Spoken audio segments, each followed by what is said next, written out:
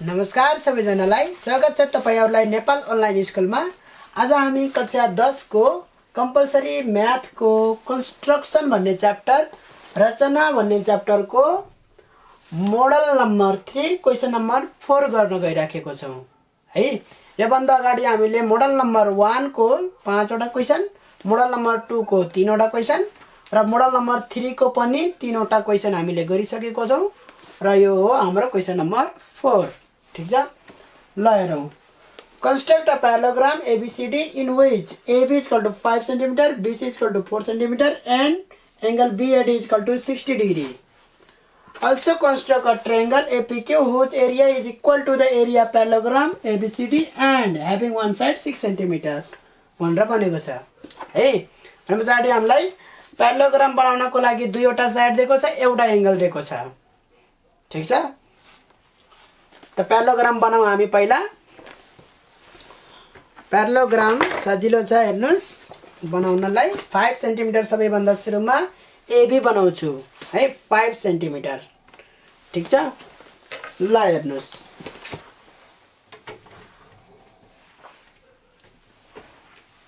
AB is equal to five centimetre बनाएँ मैले। AB five centimetre ठिक छ? अब हेर्नुहोस् एङ्गल बिएडी कति दिएको छ भन्दाखेरि सिक्सटी डिग्री दिएको छ है? एङ्गल बिएडी कति दिएको छ? सिक्सटी डिग्री दिएको छ। सिक्सटी डिग्री बनाउँछु मैले हेर्नुहोस्। सिक्सटी डिग्री बनाउनको लागि एउटा कुनै आर्क लिनुहोस् है कम्पासको जतिले पनि हुन्छ है। ल हेर्नुहोस् यस्तो किसिमले बनाउनुहोस् र यो चेन्ज नगरिकन तपाईँले यहाँबाट यो पोइन्टबाट तपाईँले कट गर्नुभयो भने सिक्सटी डिग्री हुन्छ त्यो। ठिक छ? अब जोइन गरिदिउँ बिएडी सिक्सटी डिग्री ल हेर्नुहोस् सिक्सटी डिग्री सिक्सटी डिग्रीमा मैले एउटा साइड यसरी ताने ठिक छ? अब डी भन्ने पोइन्ट कता होला त? कहाँनिर होला? भन्नुहोस् त डी भन्ने पोइन्ट कहाँनिर होला हाम्रो? ल हेर्नुहोस् बीदेखि सीसम्मको डिस्टेन्स फोर सेन्टिमिटर हो भने एदेखि डीसम्मको डिस्टेन्स कति होला? भनिदिनुहोस् त। यो पनि के हुन्छ? फोर नै हुन्छ। है opposite sides of parallelogram are equal यदि यो फोर सेन्टिमिटर छ भने यो पनि तपाईँको फोर नै हुन्छ। एडी पनि फोर हुन्छ। अब एबाट फोर सेन्टिमिटरको आर्क काटिदिनुहोस्। एबाट है फोर सेन्टिमिटरको आर्क लिनुहोस्। कम्पासमा फोर सेन्टिमिटरको र एबाट चाहिँ कट गरिदिनुहोस्। एबाट तपाईँले यसरी कट गरिदिनुहोस् फोर सेन्टिमिटर। ठिक छ? तपाईँको डी भन्ने पोइन्ट आइसक्यो। अब तपाईँले यहाँ फोर काट्नुभयो भने हेर्नुहोस्। यहाँबाट पनि तपाईँले के गर्नुहोस् बीबाट फोर सेन्टिमिटरको आर्क यसरी बनाइदिनुहोस्। ठिक छ? फोर सेन्टिमिटरको आर्क बनाइदिनुहोस्। यो अलिकति यस्तो किसिमले आउँछ हेर्नुहोस्। है त्यस पछाडि एबीको डिस्टेन्स कति छ? त्यो मेजर गर्नुहोस्। एबीको डिस्टेन्स कति छ? हेर्नुहोस्। एबी डिस्टेन्स बराबरको यो डीबाट डी भन्ने पोइन्टबाट यहाँ कट गर्नुभयो भने हेर्नुहोस् तपाईँको सी भन्ने पोइन्ट पनि आउँछ। ठिक छ? किनभने एबीको लेन्थ जति हुन्छ सिडीको लेन्थ त्यति नै हुनुपर्छ। ठिक छ? सी भन्ने पोइन्ट पनि आयो हेर्नुहोस्।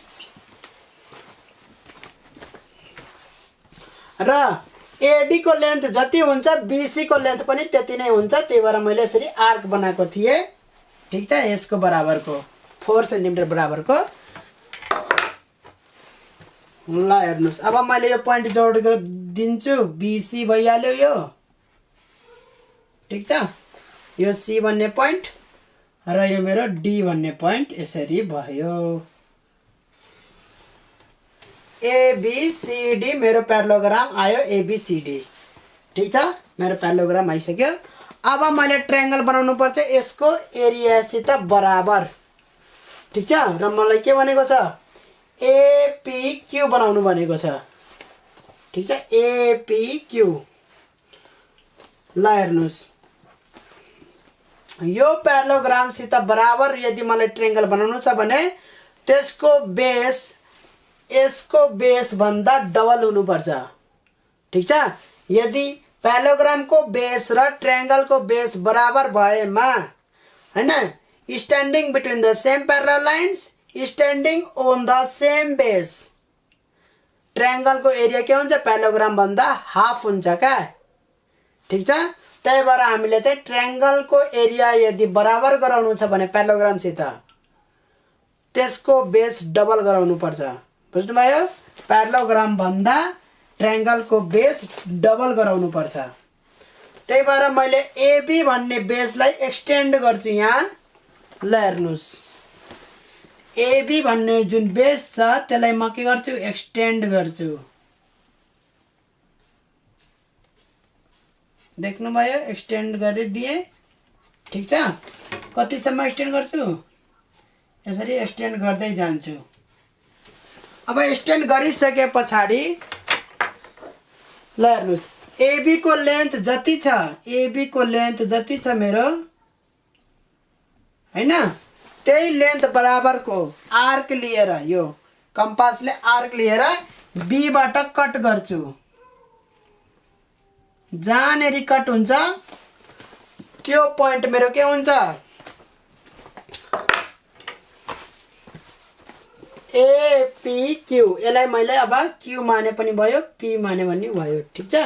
एक्यू मानिदिएँ ठिक छ? अब ट्रायङ्गलको बेस कति हुनुपर्छ? एक्यू हुनुपर्छ। जुन चाहिँ एबीको डबल छ हेर्नुहोस् ठिक छ? अब अर्को पोइन्ट चाहिँ कहाँ हुनुपर्छ भन्दाखेरि यही सिडी भन्ने लाइनमा हुनुपर्छ। किनभने यो प्यालोग्राम र यो triangle standing between the same parallel lines हुनु पर्यो। एउटै प्यारल लाइनको बिचमा हुनु पर्यो ट्रायङ्गल र प्यारोग्राम ठिक छ? र के भनेको छ? एउटा साइड चाहिँ सिक्स सेन्टिमिटर हुन्छ हेर्नुहोस्। एउटा साइड सिक्स सेन्टिमिटर हुन्छ भने तपाईँले सिक्स सेन्टिमिटरको आर्क लिनुहोस्। ठिक छ? सिक्स सेन्टिमिटरको आर्क लिनुहोस् यसबाट।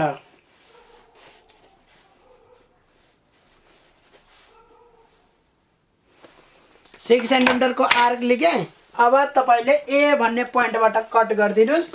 ए भन्ने पोइन्टबाट यो लाइनमा कहाँनिर कट हुन्छ? ठिक छ? यहाँनिर कट भएको छ यहाँनिर मैले कट गरिदिएँ। एबाट त्यो पी भन्ने साइड के रहेछ त? सिक्स सेन्टिमिटर भयो हेर्नुहोस्। एदेखि पी भन्ने साइड ट्रायङ्गलको एउटा साइड सिक्स सेन्टिमिटर आयो। ल हेर्नुहोस्।